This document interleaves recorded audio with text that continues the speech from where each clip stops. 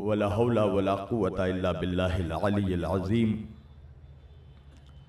अऊज़ु बिल्लाहि समीइल अलीम मिनश शैतानिर लईनिर रजीम बिस्मिल्लाहिर रहमानिर रहीम अल्हम्दुलिल्लाहि रब्बिल आलमीन अल्हम्दुलिल्लाहिल्लज़ी हदाना लिहाज़ा वमा कुन्ना लिनहतदिया लौला अन हदानल्लाह लक़द जाअत रसूल रब्बना बिल हक़ अस्सलातु वस्सलाम वल इकराम अला सय्यद अशरफिल अंबिया वल मुरसलीन।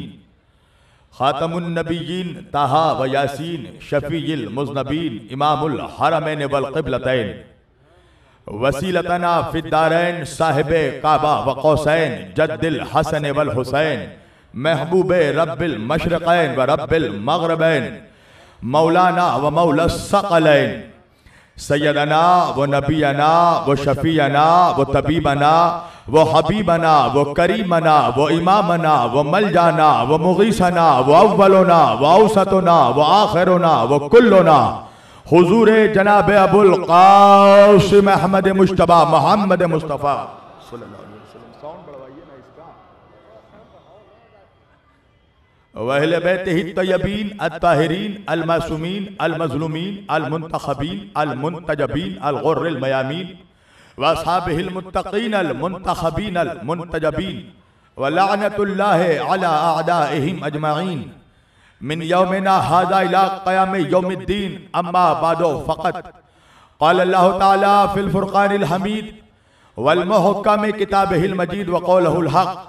बिस्मिल्लाहिर्रहमानिर्रहीम फस्कुरूनी अज़कुरकुम। सदक़ल्लाहुल मौलाना अलियुल अज़ीम, व बल्लगना रसूलुहुन नबियुल अमीनुल करीम। व नहनु अला ज़ालिका लमिनश शाहिदीन व शाकिरीन वल एक बार दीगर दरूद पढ़े सब मिलकर मोहम्मद वाले मोहम्मद पर।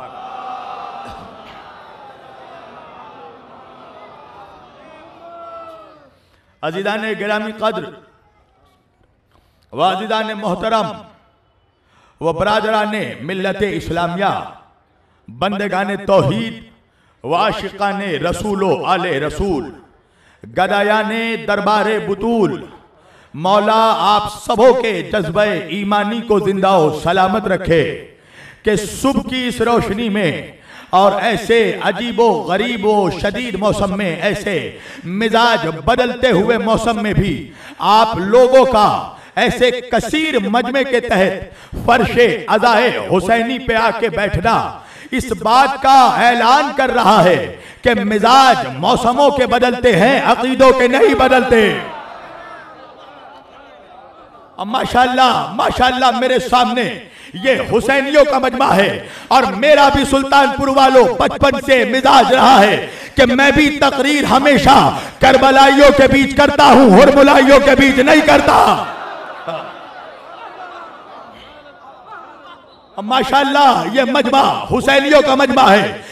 मेरा, मेरे भाई गौहर सुल्तानपुरी बचपन से जवान हो गया, जिनके अशार सुनते सुनते, ये मेरा शरफ है कि वो मेरे पहलू में बैठे हैं। गौहर भाई, इस मजमे को देखकर अल्लामा इकबाल को कहना पड़ा था कि फकी है शहर को हैरा कलंदरों ने किया। गली गली निकल आए अली अली कहकर। माशाल्लाह, ये ठाटे मारता हुआ हुसैनियों का मजमा। ये जुलूस बता रहा है, करबला में कौन जीता, कौन हारा? सुल्तानपुर वालों, मुझे इंसाफ से बताना। अभी इलेक्शन का दौर गुजर गया, इलेक्शन का दौर आने वाला है। मुझे इंसाफ से बताना, इलेक्शन खत्म होने के बाद जुलूस किसका निकलता है? जलसा किसका होता है? का हारने वालों का जुलूस नहीं निकलता, हारने वालों का जलसा नहीं निकलता। जुलूस फकत जीतने वाले निकालते हैं। हम 1400 बरस से हुसैन का जुलूस निकाल कर बता रहे हैं, यजीद हार गया, हुसैन जीत गया।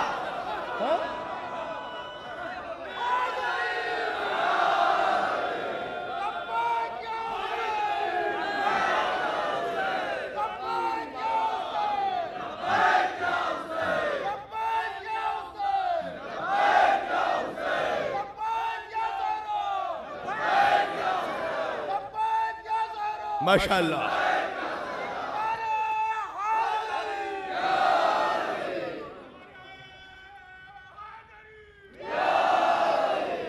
ये कुछ नाौकाती बनी उमैया के टुकड़ों पर पलने वाले जरखरी गठमुल्ला ये समझते हैं कि फतवे लगाकर, पाबंदी लगाकर आजादारी को रोक देंगे। ग्यारह महीने तक मौलवी फतवा देते देते थक जाता है। मगर जैसे ही मोहर्रम का चाँद नुमुदार होता है हुसैनी जितने हैं, दुनिया में जितने आजादार हैं, उन फतवों को उठाकर कूड़े दानों में फेंक देते हैं। और जहाँ देखो जहाँ देखो हुसैन माशाल्लाह।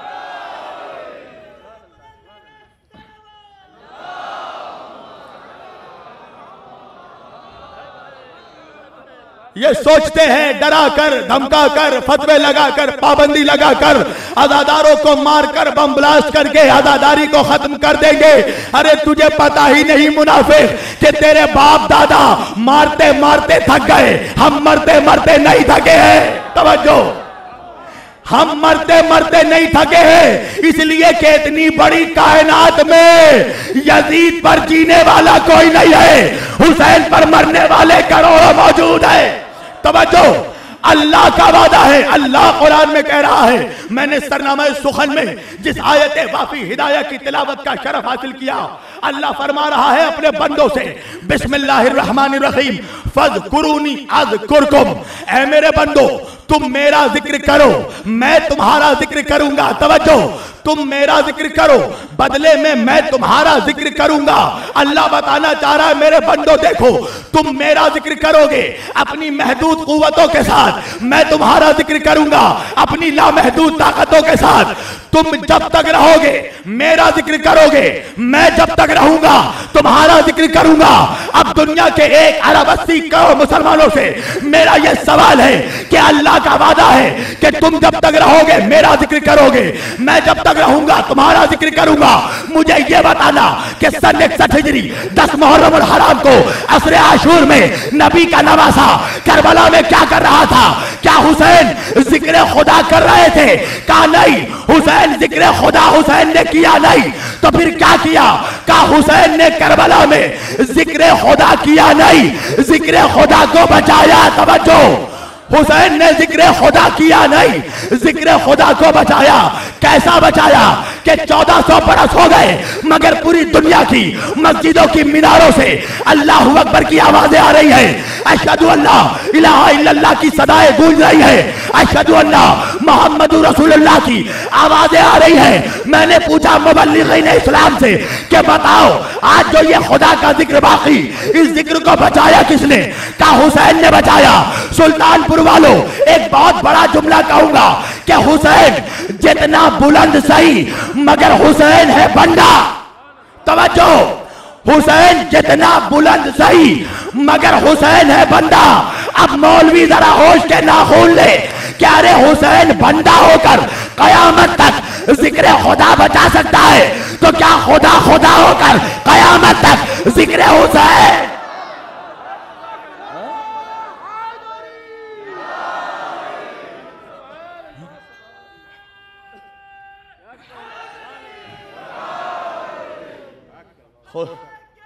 माशाल्लाह।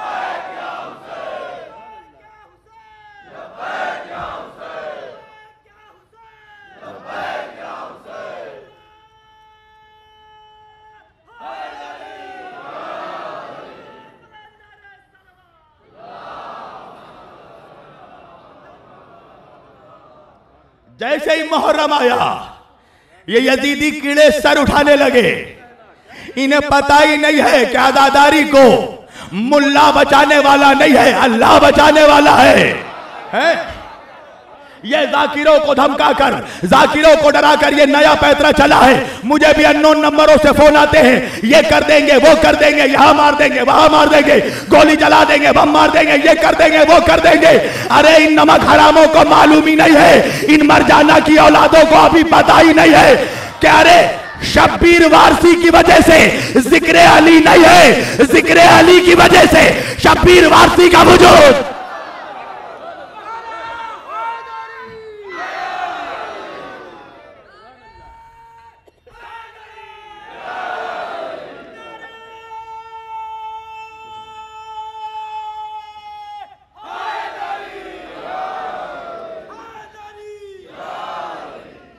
ये सर उठाते हैं। और क्यों ना उठाए? इसलिए कि तादाद में ज़्यादा है। तवज्जो। करबला के बाद एक हुसैनी बचा। हमारा मौला सज्जाद एक हुसैनी बचा करबला के बाद। उस एक हुसैनी से आज दुनिया में करोड़ों हुसैनी है। तो कभी अंदाज़ा लगाया कि करबला के बाद कितने यजीदी बचे?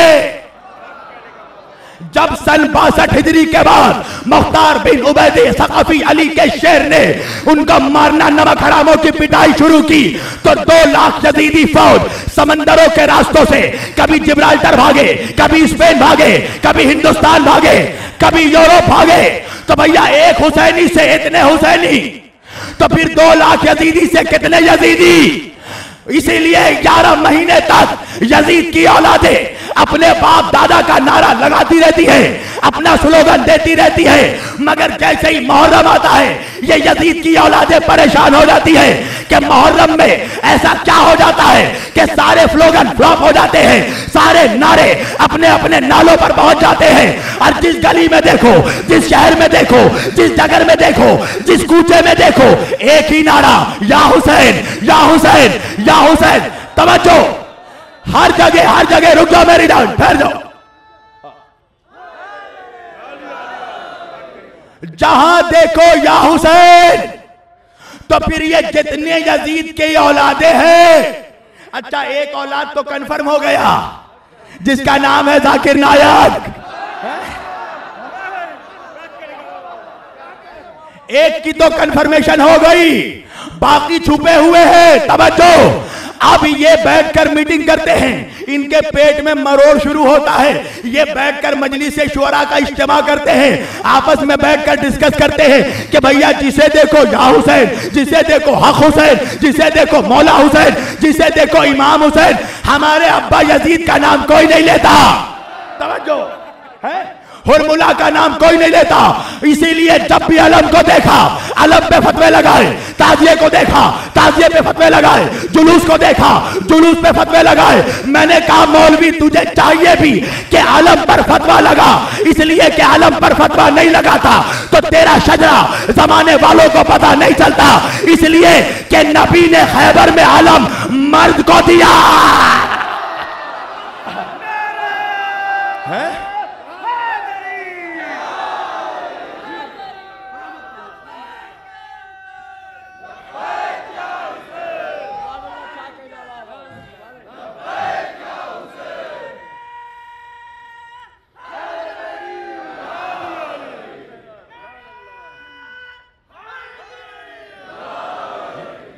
फतवे लगाना शुरू कर दिए।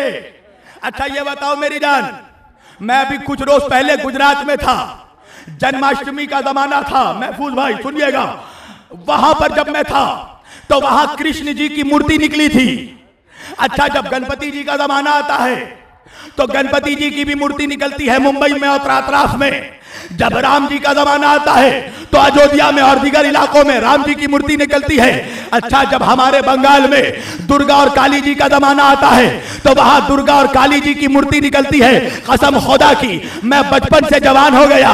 मेरे चेहरे पर दाढ़ी हो, आ गई। मगर मैंने आज तक नहीं सुना कि हिंदुस्तान के किसी मुफ्ती ने फतवा दिया हो कि कृष्ण जी की मूर्ति देखना हराम गणपति जी की मूर्ति देखना हराम, राम जी की मूर्ति देखना हराम, दुर्गा और काली की मूर्ति देखने से निकाह टूट जाता है। मगर यही मौलवी जैसे ही मोहर्रम आता है, यही मुफ्ती फतवा देता है कि ताजिया देखने से निकाह टूट जाता है। मैंने कहा, सोशल मीडिया वालों, मैं तुम्हारा शुक्रगुजार हूँ कि तुमने आज हर जगह का ताजिया दिखा दिया। ये अजमेर का ताजिया, ये कलियर का ताजिया, ये दिल्ली का ताजिया, ये यूपी का ताजिया, ये एमपी का ताजिया। अरे, इतना ताजिया दिखाया कि जितनी बनी उमैया की औलादे थी, उन सबों का निकाह टूट गया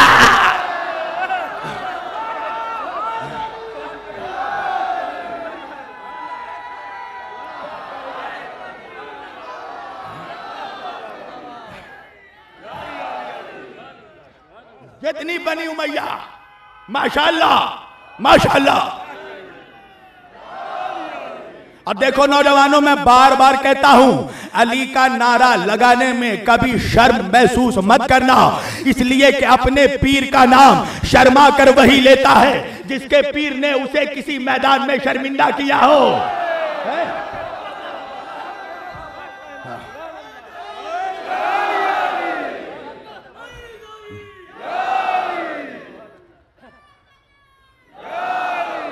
अरे तुम लापता के नहीं, लापता के चाहने वाले हो, तवज्जो। मैं तो हमेशा कहता हूँ, नौजवानों, हज़ारों के मजमे में कलेजा चीर कर बताना कि अली के चाहने वाले हो। बीच चौराहे पर लाखों दुश्मनों के बीच बताना कि हुसैन के चाहने वाले हो। इसलिए किबला कि आज वो दौर है, जब यजीदी यजीदी होने पे नहीं शर्माता तो हम हुसैनी होने पे। है?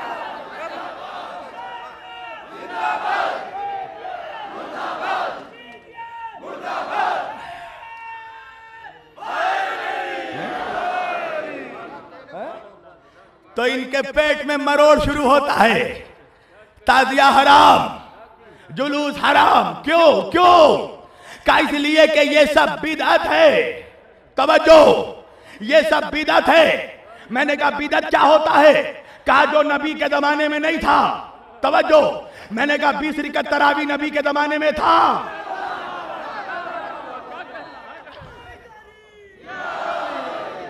देखिए हाँ। आपको परेशान होने की ज़रूरत नहीं है। गोली इस सीने पर लगेगी और सीना लोहा का है। मुहाफिज अली है, तवज्जो रखिएगा। कोई कुछ नहीं कर सकता। इसलिए कि ये किसी के बाप का मुल्क नहीं है, ये हिंदुस्तान है।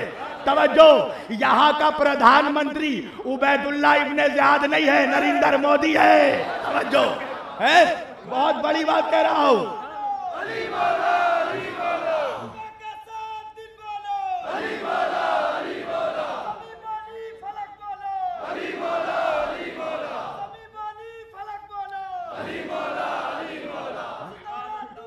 माशाल्लाह। अलीम मौला। अलीम मौला।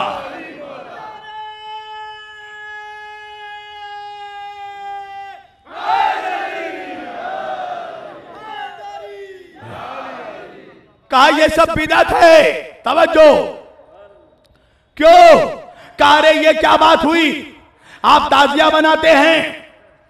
मैंने कहा, तुझे ताजिया से क्या प्रॉब्लम?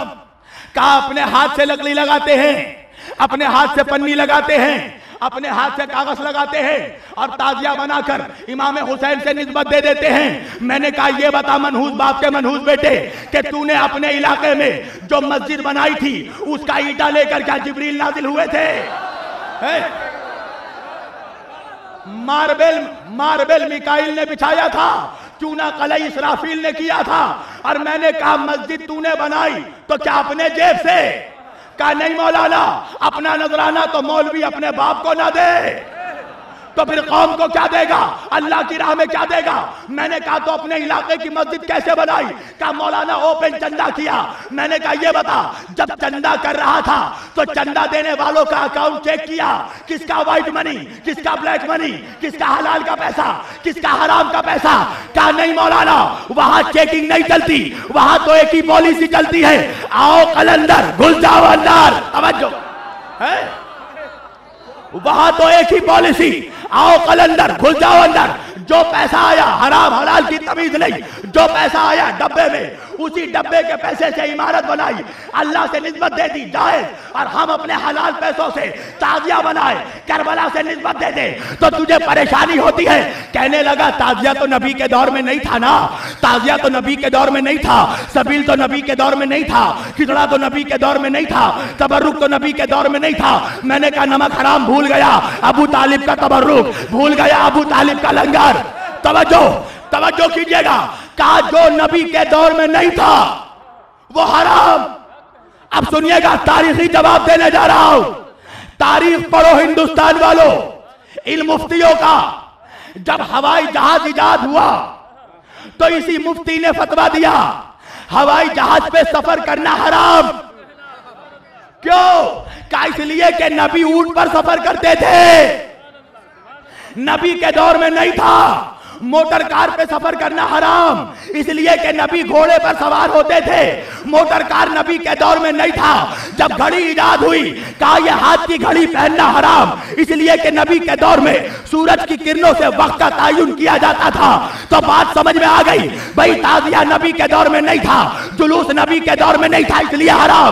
भाई, खिचड़ा नबी के दौर में नहीं था। सबील नबी के दौर में नहीं था। मलिदा नबी के दौर में नहीं था। ताजिया नबी के दौर में नहीं था। मैंने कहा, तू भी भी तो नबी के दौर में नहीं था। तू भी तो नबी के दौर में नहीं था। तेरा बाप भी तो नबी के दौर में नहीं था। तो तू हलाल कैसे हो गया? कहने लगा, फिर आप ही बताइए, ताजियादारी हलाल के हराम, ताजिया हलाल के हराम। मैंने कहा, ताजिया दोनों है, हलाल भी है, हराम भी है। कहने लगा, वो कैसे? मैंने कहा, सुन, हलाल जादों के लिए, हलाल है, हराम जादों के लिए, हराम।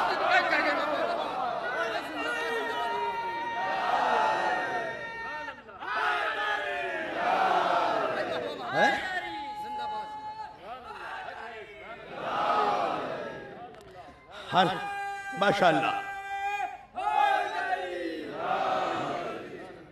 हलाल जादों के लिए हलाल है। कहने लगा, ये सब करके क्या होगा? मैंने कहा तो तू ही बता क्या करे? बोले, दिल से मोहब्बत कीजिए। हम भी तो दिल से मोहब्बत करते हैं। मैंने कहा, काश तेरा सीना हनुमान जी जैसा होता। है?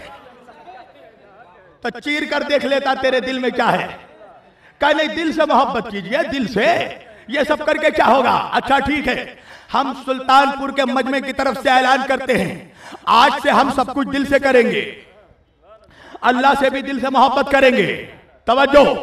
का वो कैसे? मैंने कहा, सुन मौजिन जब पाँचों वक्त अजान देगा तो नमाज़ के लुगवी माने हैं दुआ। नमाज़ के लुगवी माने दुआ। दुआ करना। मैंने कहा मौजिन जैसे ही मस्जिद की मीनारों से अदान देगा। मैं अपने घर के बेड में बैठूँगा, तकिए पे हैलान दूँगा और खूब दुआ करूँगा। हो गई नमाज़। कहा है सुल्तानपुर का मजमा? कसम खुदा की। हो गई नमाज़। का नहीं नहीं हुई। मैंने कहा अच्छा रुक। रोज़े के माने हैं, खुद को किसी चीज़ से रोक लेना। खुद को किसी शय से रोक लेना। मैंने कहा, जैसे ही रमजानुल मुबारक का चाँद नमोदार होगा, मैं अपने आप को घर में रोक लूँगा और घर में दिन भर समोसे भी खाऊँगा, पकोड़े भी खाऊँगा, जूस भी पीऊँगा। हो गया मेरा रोजा। का नहीं, कैसी बात कर रहे हैं? हरगिज नहीं होगा। मैंने कहा अच्छा जक़ात के माने हैं। इजाफा होना। किसी शय में इजाफा होना। मैंने कहा, एक काम करूँगा।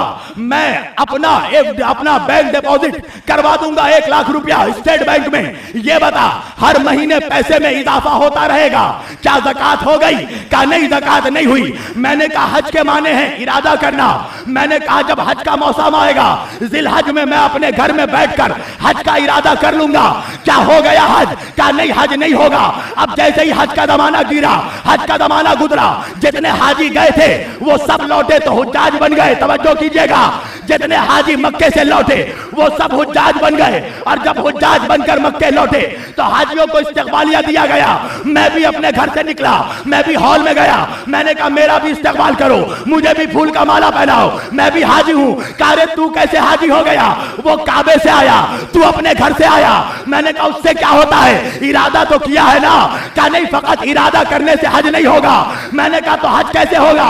का हज करने के लिए काबे में जाना भी पड़ेगा? काबे का चक्कर लगाना भी पड़ेगा? साथ तबाफ करना भी पड़ेगा? सफ़ा मरवा की सही करना भी पड़ेगा? एक पत्थर को चूमना भी पड़ेगा? तीन पत्थर को मारना भी पड़ेगा? तो एक हजरे असवद का बहुत बोसा लेना पड़ेगा। तीन शैतानों को मारना पड़ेगा। काबे का तबाफ करना पड़ेगा। सफ़ा मरवा की सही करना पड़ेगा। तब हज होगा। मैंने कहा अच्छा रोज़े के माने है रोक लेना। खुद को रोक लेने से रोजा हो जाएगा। कहा, नहीं शेरी भी करना पड़ेगा। भूखा प्यासा भी रहना पड़ेगा। इफ्तार भी करना पड़ेगा। मैंने कहा, नमाज़ के माने है दुआ करना। घर बैठे दुआ करने से नमाज़ हो जाएगा। कहा, नहीं, सजदा भी करना पड़ेगा। कयाम भी करना पड़ेगा। तशहुद भी पढ़ना पड़ेगा। कलाम भी करना पड़ेगा। मैंने कहा इसी तरह, फकत अहले बैत से, जुबानी मोहब्बत के दावों से कुछ नहीं होगा। अलम भी उठाना पड़ेगा, ताजिया भी उठा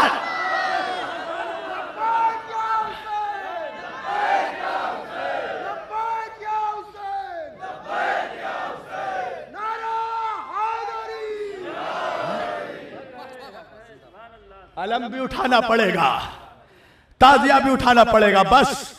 जो वक्त मुझे दिया गया, वो वक्त कंप्लीट हो गया। तवज्जो, हम सब वक्त के मोहताज हैं। ये किसी के लिए नहीं रुकता। कायनात में वक्त को उसकी औकात फकत अली ने याद दिलाई है। समेट दिया मैंने। ये अदादारी, ये हुसैन का ज़िक्र करना यह हमारी निजात का सबब है। बस आखिरी बात, खत्म कर दी मैंने। कहा, नहीं, ये सब मत कीजिए। ताजिया मत उठाइए, जुलूस मत उठाइए। अदादारी मत कीजिए। तू बता दे क्या करे। का कुरान पढ़कर हुसैन को बख्श दीजिए। मैंने कहा बे भयंकर हुसैन को तू बख्शेगा। जिसके सदक़े में अल्लाह कयामत में उम्मत को बख्शेगा। है? तू उस हुसैन को बख्शेगा। अच्छा बख्शिए भी नहीं, बकस दीजिए कहा है सुल्तानपुर का मजबा बख्शिए नहीं, हुसैन को बकस दीजिए। मैंने कहा, कैसे बख्शे कैसे बख्शे बख्शे नहीं, कैसे बख्शे क्या जिस तरह हमने अपने मरहूम अब्बा को बख्शा था? तवज्जो। मैंने कहा, कैसे बख्शा क्या जब मेरा बाप मर गया तो मैंने उसके साले सवाब के लिए कुरान खानी करवाई। मैंने कहा, कुरान तू पढ़ रहा था, सवाब तेरे बाप को कैसे मिल रहा था?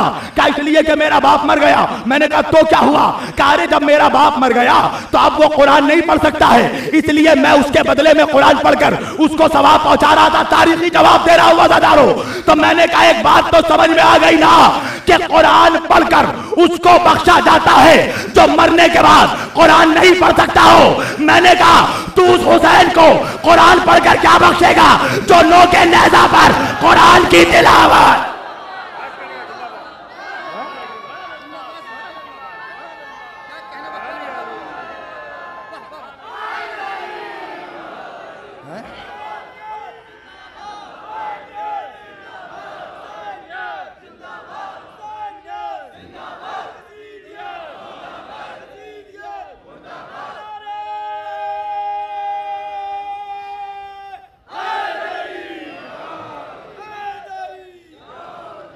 समेट दिया मैंने। तो आजादारो इस आजादारी की हिफाजत करना इसे रस्म मत बनाना। आजादारी के सिलसिले में मुखलिस रहना। यह बहुत मेहनतों से हम तक पहुँचा है। तुम नसीब वाले हो कि तुम्हें विरासत में आजादारी मिल गई। वो लाखों हुर है इस जमाने में जो तहकीक करने के बाद अदादार होते हैं। हैं? और सुनो अगर हुसैन के सच्चे चाहने वाले हो तो आज भी जमाने के हुर के लिए दरवाज़ा खुला रखना। ये आजादारी नफरत का मरकज नहीं है, ये मोहब्बत का मरकज है। पिछले साल मुहर्रम से पहले आयतुल्लाह सैयद अली खामनाई साहब ने एक पैगाम भेजा था, और पैगाम फर्श पर बैठने वालों के लिए नहीं, मिंबर पर बैठने वालों के लिए भेजा। और पैगाम ये भेजा कि इस वक्त फर्श अदाए हुसैनी पर दुनिया की तमाम कौमें आकर बैठ रही है। लिहाजा जो जाकिरीन मिंबर है, जो मजलिस पढ़ते हैं, उनका खास ये फरीदा है कि वो मिंबर पर बैठकर ऐसी गुफ्तगु करे कि जिसकी वजह से ये दरवाज़ा खुला रहे, बंद ना हो। इसलिए कि दुनिया चाह रही है कि वो तुम्हें तनहा कर दे।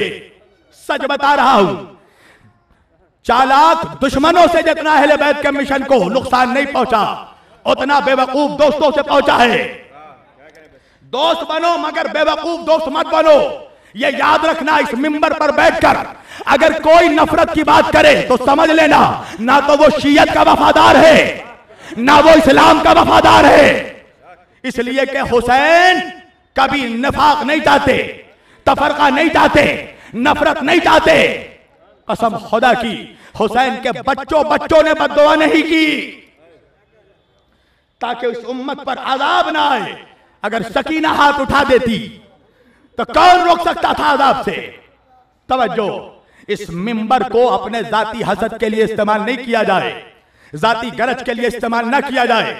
मौला हुसैन का ताबूत है सामने।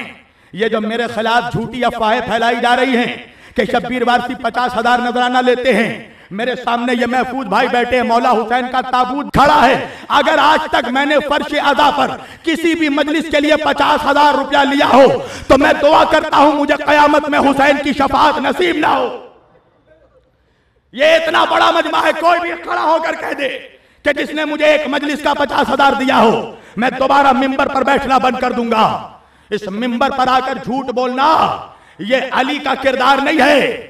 खुद आगे बढ़ने की सोच, दूसरों को पीछे करने की मत सोच। इज़्ज़त देने वाला अल्लाह है। किसी की जिल्लत की कब्र पर कोई अपनी इज्जतों का मकबरा नहीं बना सकता। यह हुसैन का की फर्श अदा है। यहाँ पर झूठ बोलने से परहेज किया जाए। अपने सौ लोगों के बीच बैठकर अली अली कर देना कोई बहुत बड़ा कमाल नहीं है। हज़ार मुनाफिकों के बीच बैठकर अली अली करके देखा। हज़ार मुनाफिकों के बीच हक सैदा बयान करके देखा। तब पता चले कलेजा मीसम जैसा है। तवज्जो कीजिएगा जिदाने गरम ये सब झूठी बातें फैलाना, ये सब अफवाहें फैलाना, ये मिंबर का तकाजा नहीं है। ये मिंबर है हक अहले बैत बयान करने के लिए। ये मिंबर है अहले बैत पर होने वाले जुल्म बयान करने के लिए। मैं अजीब दौर से गुजर रहा हूँ, गौहर भाई। इस वक्त गैर भी मेरी मुखालिफत कर रहा है, अपना भी मुखालिफत कर रहा है, गैर इसलिए मुखालिफत कर रहा है कि मैं हकायक अहले बैत जो उन्होंने ढाक रखा था, मैं उसे दुनिया के सामने खोल रहा हूँ। और अपने कुछ चिट पूंजी इसलिए मुखालिफत कर रहे हैं कि उनकी दुकानों को खतरा हो रहा है। याद रखना, मैं मेजोरिटी से माइनॉरिटी की तरफ़ आया हूँ। पैसों के लिए कोई मूसा मूसा नहीं करता फिरौन फिरौन करता है। पैसों के लिए कोई हुसैन हुसैन नहीं करता। यजीद यजीद करता है। इस मिंबर पर तिजारत के लिए नहीं आया हूँ, इस मिंबर पर इबादत के लिए आया हूँ। चाहता हूँ कि वो रिश्ते जो तोड़ दिए गए, वो रिश्ते फिर से जोड़ सकूँ। आयतुल्ला सैयद अली सिस्तानी फरमाते हैं, अहले सुन्नत, फकत हमारे भाई नहीं, हमारी जान है। तो ये जो उन्होंने कहा है, मर जाए जहाँ ने तशैयो ने, किस लिए? ताकि तुम व्हाट्सएप का डीपी लगाओ। क्या फकत इसलिए कि फेसबुक में स्टेटस शेयर करो या प्रैक्टिकली इसको अपनी जात में इंप्लीमेंट करो? ये जो शिया सुन्नी का तफरका डालने की जो लोग बात कर रहे हैं ना ना ये शियत के वफादार, ना ये सुन्नियत के वफादार, ना ये इस्लाम के वफादार हैं। ये किसी के वफादार नहीं है। कसम खुदा की, बड़ी बड़ी बातें करना बहुत आसान है। पता तो तब चलेगा जब वक्त का हुसैन जहूर करेगा। एक सफीर आया, बस मैंने तमाम कर दिया। हुसैन का एक सफीर आया था हमारे मुल्क में, शेख जगजकी। अल्लाह जाने हम किस ख्वाब में सोए हुए थे। हमें पता ही नहीं चला कब आए, कब चले गए। सात जनाजे उठाकर आया था वो, अपने बेटों के साथ जनाजे, अपनी बेटी का लाशा उठा कर आया था शेख जगजकी। सफीर हुसैन का, मेरे नज़दीक इस वक्त जगजकी से ज़्यादा करबला से करीब कोई नहीं है। सात बेटों का जनाजा कहना आसान है। ये उस बाप से पूछो जिसने जवान बेटे का लाशा उठाया हो। साल भर इंतज़ार कर रहे थे ना कि ये दिन आएगा बहत्तर शोहदा का ताबूत उठाओगे। हाँ दादारो ताबूत तो उठाना मगर बहुत संभाल कर उठाना इसलिए कि लाशों पर घोड़े दौड़ाए गए थे। हाँ दादारो तुम्हें रोना चाहिए। साल भर इंतज़ार कर रहे थे ना।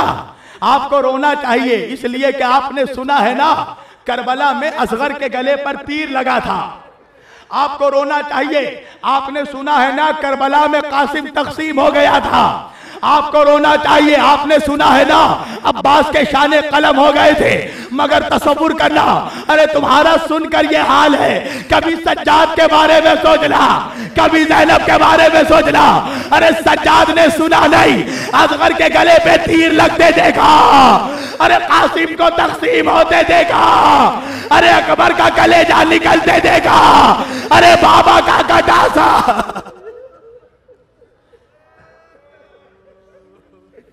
हाजादारो आप मुसलसल मुहर्रम की पहली तारीख से एक मजलिस से दूसरी मजलिस दूसरी मजलिस से तीसरी मजलिस तीसरी मजलिस से चौथी मजलिस।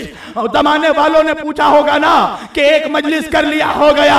अरे एक के बाद दूसरी मजलिस, दूसरे के बाद तीसरी मजलिस किस लिए? इनको पता नहीं। मजलिस उसके नाम की है जिसने एक लाशा उठाने के बाद दूसरा लाशा उठाया, तीसरा लाशा उठाया। अरे इकहत्तर लाशें जिसने उठाए, उसका लाशा उठाने वाला।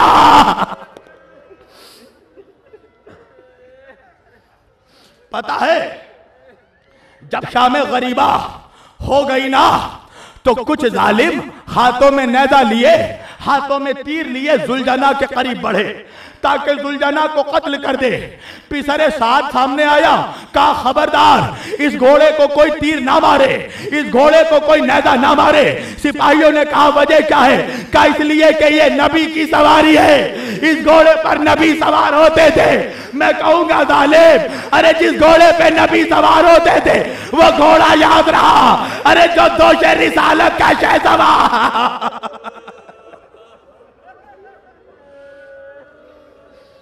शह सवार हाजादारो हाजादारो मैं क्या क्या बयान करूँ? अरे, जब करबला का वाकया हो गया, जोहर इब्ने कैन की बीवी रास्ते में थी। जब जोहर की बीवी को खबर पहुँची कि करबला में शुहदा कत्ल कर दिए गए, जोहर इब्ने कैन की बीवी ने अपने गुलाम को बुलाया। एक कफन गुलाम को दिया। कहा है मेरे गुलाम, ये कफन लेके करबला जा। कहा, एक कफन क्यों दे रही है? कहा, इसलिए कि हुसैन नबी के नवासे है। किसी ना किसी ने हुसैन को कफन दे दिया होगा। अब्बास अली के बेटे हैं। किसी ना किसी ने कफन पहना दिया होगा। अकबर शबी है, मुस्तफ़ा है। किसी ना किसी ने कफन दे दिया होगा। करबला में मेरे जोहर का कोई अपना नहीं है। मेरे जोहेर को कफन उड़ा देना। हाँ दादारो, गुलाम कफन लेकर करबला गया। मगर वही कफन लेकर वापस लौट आया। जोहर की बीवी ने कहा, कफन वापस क्यों ले आया? कहा बीबी करबला में एक कफन नहीं, बहत्तर कफन चाहिए। अरे, कहीं हुसैन का लाशा, कहीं अब्बास, कहीं हाँ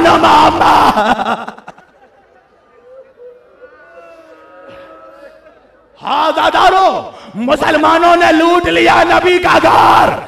जिस तरह भेड़िए शिकार को लूटते हैं ना, अरे मुसलमानों ने नबी के नवासे का जनाजा लूट लिया, हुसैन का जनाजा करबला की रेती में पड़ा था, कोई आया, अमामा लूट कर ले गया, कोई आया कुर्ता लूट कर ले गया। कोई आया, कमर बंद लूट कर ले गया। सुन सकोगे अदादारो एक जालिम की निगाह हुसैन की अंगूठी पर पड़ी। वो हुसैन के लाशे के करीब गया।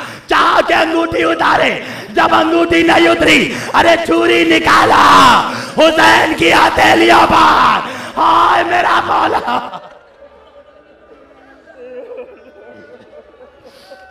हाँ दादारो। बस बस, दो चार मिनट तमाम कर दिया मैंने। पिसरे साध मलून आया। एक मरतबा खूली लानती से कहा कि नैजों पर सवार सरों को गिन कर बता, कितने कटे सर है? अरे जालिम ने गिना गिन कर कहा इकहत्तर सर है। पिसरे साध ने कहा, मैंने तो सुना है कि बहत्तर लोग जिबा किए गए। तो ये बहत्तरवा सर किसका है? खूली कहने लगा, बहत्तरवा सर जिस बच्चे का है, उसे जिबा नहीं किया गया, उसे नहर किया गया। वो शिर खान अली असगर का सर है। का कहा है उस बच्चे का सर। का हुसैन ने करबला में किसी नर्म ज़मीन पर असगर का जनाजा दफना दिया है। अदादारो हुसैन ने किसी का जनाजा नहीं दफनाया। हुसैन ने फकत असगर का लाशा दफनाया ना। मेरी माँ बहनों वजह ये थी कि हुसैन को पता था ना कि शाम गरीबा आएगी। लाशों पर घोड़े दौड़ाए जाएँगे।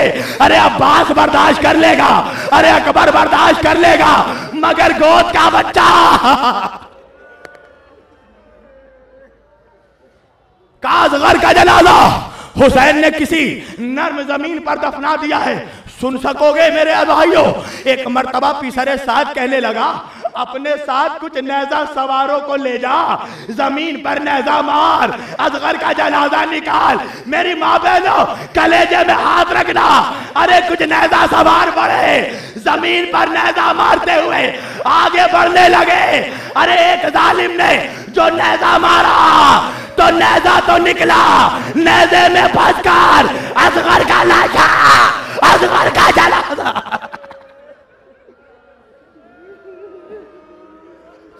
बस तमाम कर दिया। अरे जालिमों ने नैजे की नोक से बच्चे के जनाजे को खेचा। एक जालिम ने सर पकड़ा, मेरी माँ बहनों सीने में हाथ रखा। एक ने सर पकड़ा, एक ने बदन पकड़ा।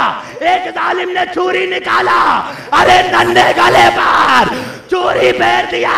रबाब ने देखा, हाय मेरा बच्चा, हाय मेरा अजगर, हाय मेरा प्यासा